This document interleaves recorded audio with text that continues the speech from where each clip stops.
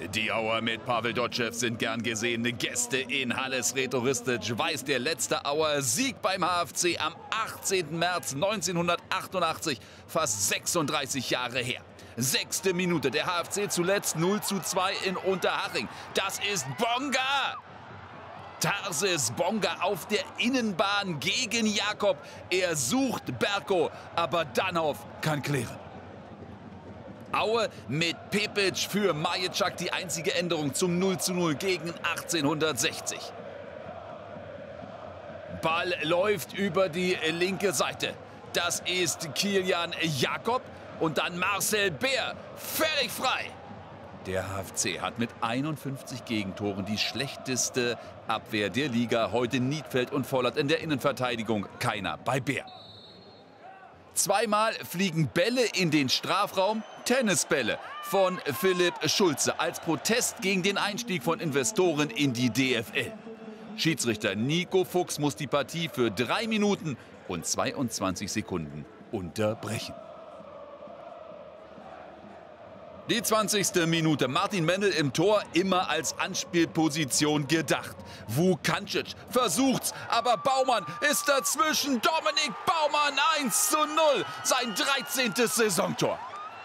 Und da bricht so viel Frust raus nach diesem Treffer. Baumann kennt natürlich das Auer Aufbauspiel über Mendel. Er spekuliert geschickt und verwandelt aus Spitzenwinkel durch die Beine von Mendel.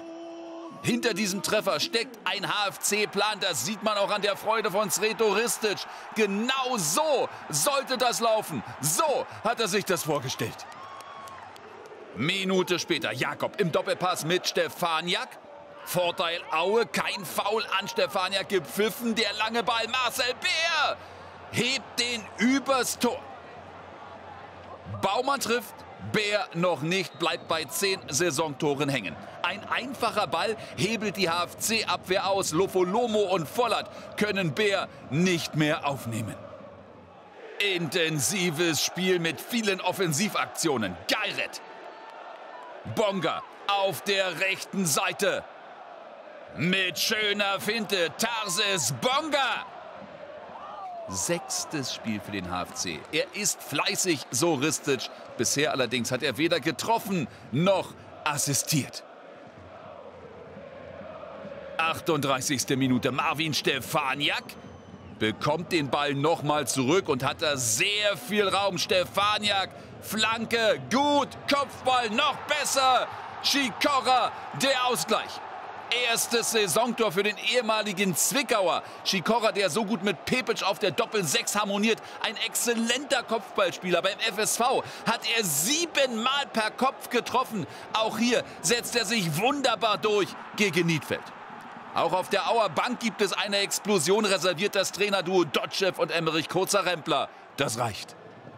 41. Minute. Siaric berührt Berko. Nico Fuchs entscheidet auf Freistoß. Geiret hat im April beim 5 zu 2 gegen Aue per direkten Freistoß getroffen. Jetzt wieder das Duell gegen Martin Mennel. Und wieder ist der Ball drin. Noch abgefälscht von Boris Taschki. Mit dem Kopf will er abwehren. Fälscht letztlich jedoch unhaltbar für seinen eigenen Torhüter, für Martin Mennel ab, der schon in die linke Ecke unterwegs ist. Ein Sieg wäre die Erleichterung für Sreto Ristic. Das Spiel hat keine Pause. 46. Minute. Kilian Jakob so frei auf Marcel Bär. Und wieder ist der Ball drin. Der Ausgleich. Bär, da ist es. Sein elftes Saisontor. Lofolomo und Vollert kommen in der Zentrale zu spät. Niedfeld war auf den Flügel rausgerückt. Die HFC-Defensive kann die Führung zum zweiten Mal nur Minuten halten. Pavel Dotschew. Seine Mannschaft kann bei einem Sieg auf 38 Punkte springen. Von dort sind es nur sechs zum Relegationsplatz. Neunte Minute der Nachspielzeit. Freistoß. Tunay Dennis ist in dieser Disziplin ein echter Künstler. Perfekt dieser Ball auf Bonga. Sehr auffällig Tarsis Bonga. Aber weiter kein Treffer für den HFC, der Ball allerdings auch schwer zu nehmen. Sein letztes Tor erzielte Bonga für Chemnitz gegen Halle vor ziemlich genau vier Jahren. Unterwegs allerdings spielte er noch für Bochum, Braunschweig und 1860 München. Pause in Halle. Aue will mit einem Sieg das Derby gegen Dresden zusätzlich anfeuern. 53. Minute. Bonga im eigenen Strafraum und dann Sijaric und Philipp Schulze. Die Leihgabe aus Wolfsburg mit fantastischem Reflex. Drei Hallenser klären den Ball nicht, sondern legen auf für Sijaric. Der dreht fast schon zum Jubeln ab. Aber dann die Sensationsparade des 21-jährigen Torwarts, der viermal im Wolfsburger Kader stand unter Niko Kovac, aber nie in der Bundesliga zum Einsatz kam.